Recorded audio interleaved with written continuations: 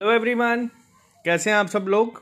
आप लोगों को पता है हमने general knowledge with special reference to J and K start किया है अपना एक पार्ट या आपका हर एक एग्ज़ाम जो भी आपकी स्टेट कंडक्ट करवाएगी, उसमें आपसे क्वेश्चन पूछे जाएँगे और सिलेबस तकरीबन सेम रहेगा। इस सेक्शन का आपको यहाँ पे मैं बता दूँ, आज जो हम करने जाने हैं, ये है पार्ट थ्री ए आप लोग ये मत सोचे कि जो हमने पार्ट सेकेंड ए स्टार्ट किया था सेवेंटी थर्ड अमेंडमेंट वो ख़त्म हो गया है।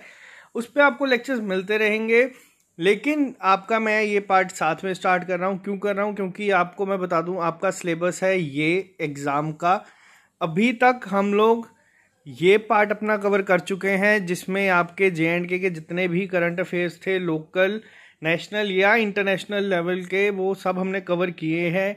इंपॉर्टेंट टूरिस्ट डेस्टिनेशन पे आपको चार पार्ट मिल चुके हैं। यहाँ पे जो आपको आई बटन दिखेगा, आप वहाँ पे क्लिक करें और आपको उस प्लेलिस्ट का आपको मिल जाएगा। हमने सेवेंटी थर्ड अमेंडमेंट स्टार्ट किया है अपना कॉन्स्टिट्यूशन का और वहीं आपको मैं पूरा इन डिटेल बताऊँगा कि पंचायती राज जो है वो आया किस तरह से था। तो ये अभी आपके पास चल रहे हैं, लेकिन आज जो हम स्टार्ट कर रहे हैं वो हम कर रहे हैं पॉपुलर नेम ऑफ़ पर्सनैलिटीज़ जो आपके religion politics scientific discoveries geographical और स्पोर्ट्स हिस्ट्री से रिलेटेड जितने भी होंगे, उनको करेंगे। और ये एक ऐसा टॉपिक नहीं है जो मैं आपको एक वीडियो बना के सारा कवर करवा दूँ।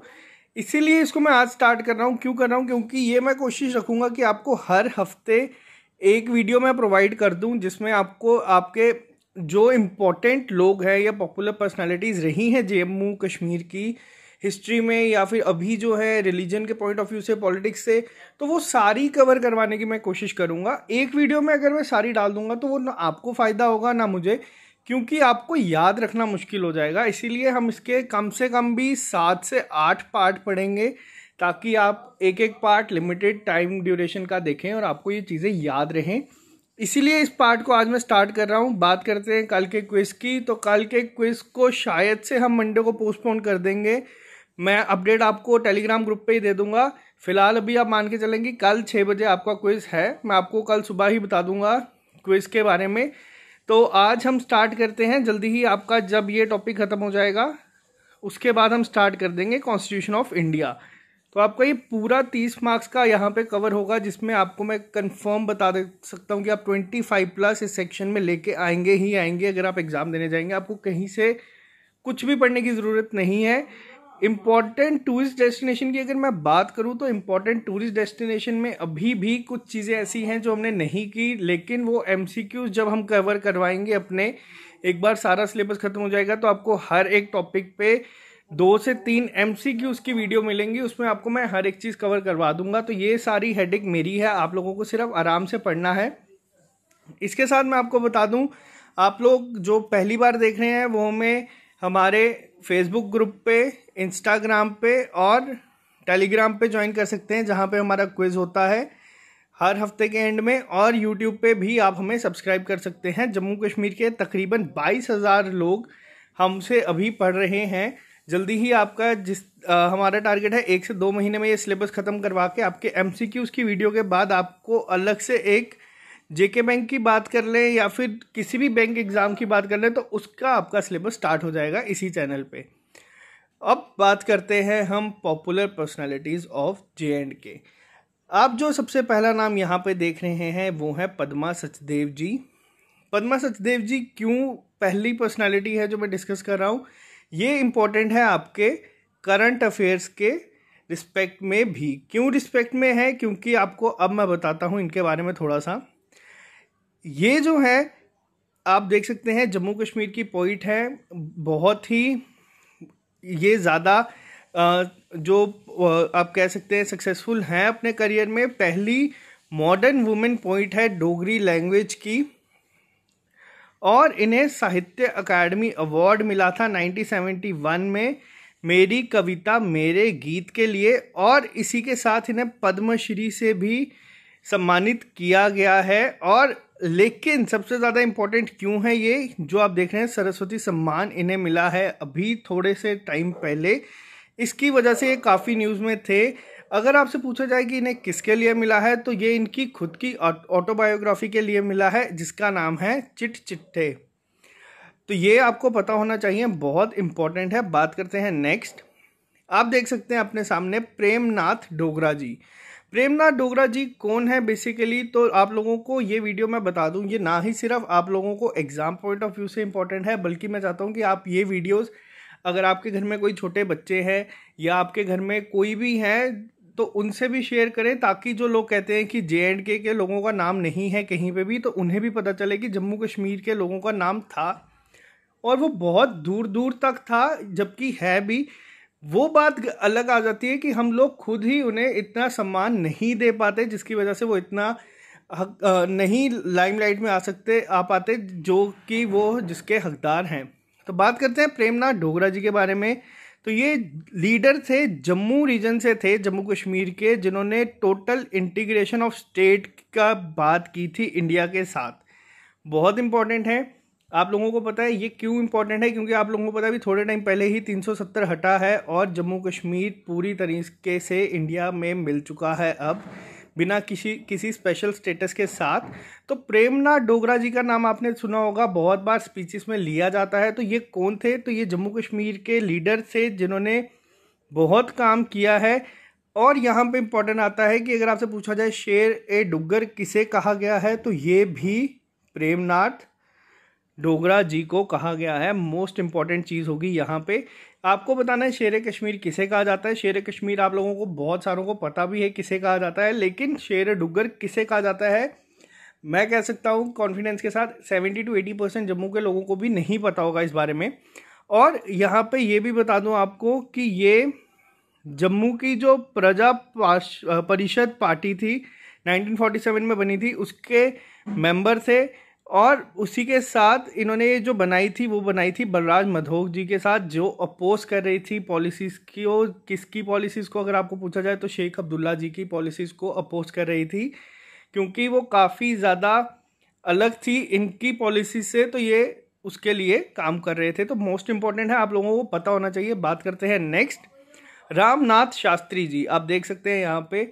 अब बात करते हैं रामनाथ शास्त्री जी थे कौन? तो ये बेसिकली एक प्रोफेसर थे, जिन्हें कहा जाता है फादर ऑफ़ डोगरी अब आपसे एग्ज़ाम में डायरेक्ट क्वेश्चन दो इस तरीके से पूछे जा सकते हैं। पहला क्वेश्चन तो ये कि शेर डुगर किसे कहा जाता है? दूसरा आपसे ये पूछा जा सकता है कि कौन सी ऐसी फ़ेमस पर्सनैलिटी है जिसे फादर ऑफ़ डोगरी कहा जाता था? ये कहा जाता था आपका रामनाथ शास्त्री जी को, जो कि एक डोगरी पोइट थे राइटर थे एक्टर थे। इनकी राइटिंग जो थी उन सब, वो जितनी भी थी, उनकी वजह से ही डोगरी को नेशनल स्टेज पे एक दर्जा मिला है। और 2001 में उन्हें साहित्य अकेडमी अवार्ड से सम्मानित किया गया था। इनकी कुछ बुक्स के नाम आपको बता दूँ। इंपॉर्टेंट नहीं है, इतने एग्ज़ाम में पूछे जाएँ, लेकिन आपको पता होना ज़रूरी है। हो सके तो आप ये बुक्स लें और इसको पढ़ें ताकि आपके डोगरी कल्चर को भी प्रमोट कर सके आप। तो ये था बदनामी की छाँव और बाबा जीतो। तो ये आपको पता होना चाहिए रामनाथ शास्त्री जी। बात करते हैं नेक्स्ट गुलाम नबी ख्याल जी। अब ये क्यों फ़ेमस हैं आप लोगों को मैं बता दूँ, ये फ़ेमस हैं क्योंकि ये बहुत ही बड़े कश्मीर के पोइट हैं राइटर हैं रिसर्चर हैं और एक सीनियर जर्नलिस्ट भी रह चुके हैं। लेकिन यहाँ पे इस सब के साथ अगर मैं आपको बताऊँ, इनका नाम इतना इम्पोर्टेंट क्यों है? क्योंकि आपको पता है अभी जो थोड़े टाइम पहले अवार्ड वापसी शुरू हुई थी या अवार्ड वापस देना स्टार्ट किए थे तो ये भी उनमें थे जिन्होंने अपना साहित्य अकादमी पुरस्कार वापस देने के लिए कहा था। तो आपको बता दूँ, ये अकेडमी अवार्ड विनर है 1974 के और साहित्य अकेडमी अवार्ड विनर है 1975 के। तो ये बहुत इंपॉर्टेंट है आपके लिए। बात करते हैं नेक्स्ट भजन सोपुरी जी। भजन सोपो सोपोरी जी क्यों फ़ेमस हैं? आप लोगों ने इनको काफ़ी जगह पे देखा होगा। बहुत सारी न्यूज़ में या फिर अगर कोई बड़ा इवेंट होता है तो ये वहाँ पे आपको मौजूद दिखेंगे। क्यों इम्पोर्टेंट है, मैं आपको बता दूँ। भजन सोपुरी जी इंडियन इंस्ट्रूमेंटलिस्ट हैं, जो कि आपको पता होगा क्या बजाते हैं, संतूर। ये बहुत ही पुराना म्यूज़िक इंस्ट्रूमेंट है जो ये बजाते हैं, और इसी के साथ seventy sixty seventh Indian republic day जो हुई थी, उसमें पंडित भजन सोपुरी जी को जम्मू कश्मीर स्टेट की तरफ़ से लाइफ टाइम अचीवमेंट अवार्ड से सम्मानित किया गया था। तो ये आपको पता होना चाहिए। आपसे डायरेक्ट एग्ज़ाम में पूछा जा सकता है कि भजन सोपुरी जी कौन सा इंस्ट्रूमेंट प्ले करते हैं, या फिर आपसे ये भी पूछा जा सकता है कि किसे लाइफ टाइम अचीवमेंट अवार्ड के साथ जम्मू कश्मीर में सम्मानित किया गया था। बात करते हैं नेक्स्ट कुंडल लाल सैगल अगर आपको मैं बात करूँ यहाँ पे कुंडल लाल सैगल जी की तो आप लोगों को ये नाम नहीं थोड़ा सा स्ट्राइक करेगा, लेकिन अगर मैं बात करूँगा के एल सहगल तो आप लोगों को पता चल जाएगा, ये अपने दशक के सबसे मशहूर एक्टर्स सिंगर्स में से एक थे, और आपको बता दूँ ये जम्मू कश्मीर में है। अगर आप लिंक रोड से आएँगे, अगर आप कभी जम्मू में लिंक रोड पे आएँगे, जो पुरानी मंडी के पास आएगा तो वहाँ पे आपको दिखेगा एक स्टैचू बना हुआ जो बहुत सारे लोगों ने नहीं देखा होगा, वहाँ पे लिखा हुआ है के एल सैगल रोड। तो आपको ये भी पता होना चाहिए, अगर आप जम्मू कश्मीर से है, और आपको इन चीज़ों पर प्राउड फील करना चाहिए कि आपकी स्टेट से ये लोग निकले हैं। अब बात करते हैं इनके बारे में थोड़ा सा और। के एल सैगल नाम से मशहूर थे, ये बहुत ही ज़्यादा इंडियन सिंगर और एक्टर थे, लेकिन इसी के साथ इन्हें पहला सुपरस्टार माना जाता है हिंदी फ़िल्म इंडस्ट्री का। जो उस समय में कोलकाता में थी, लेकिन अब ये मुंबई में जो आप देखते हैं, आपकी फ़िल्म सिटी, वो उस टाइम पे कोलकाता में थी और उस टाइम पे के एल सैगल जी वहाँ के पहले सुपरस्टार माने जाते हैं। तो ये आपको पता होना चाहिए, ये भी आपके जम्मू कश्मीर से थे। बात करते हैं नेक्स्ट महर चंद महाजन। आप देख सकते हैं, मैंने यहाँ पे इनकी फ़ोटो की जगह एक स्टैम्प की फ़ोटो लगाई है ताकि आपको ये चीज़ याद रहे और आपको एग्ज़ाम में स्ट्राइक करे।